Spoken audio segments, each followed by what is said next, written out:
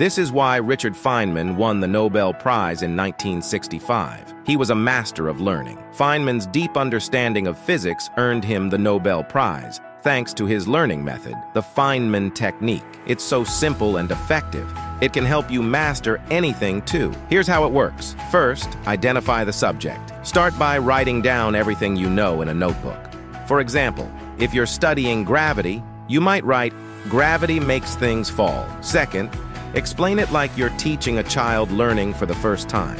For instance, you might say, gravity is why a ball falls to the ground when you drop it. If you struggle to explain it, you don't understand it enough. Third, locate the knowledge gaps and work on filling them. Look at your notes and pinpoint areas where you're not confident. For example, if you're unsure why gravity pulls things down, you need to make more effort to find out why. Do more research, ask for help, or experiment. Finally, test your learning by turning it into a story. Use analogies, metaphors, and vivid, unusual language to convey your idea quickly. For gravity, you might say, gravity is like an invisible hand that pulls everything toward the earth. That's why when you throw a ball in the air, it comes back down. This makes the concept easier to remember and helps you explain it to others. By following the Feynman technique, you're not just memorizing facts, you're building real understanding that lasts.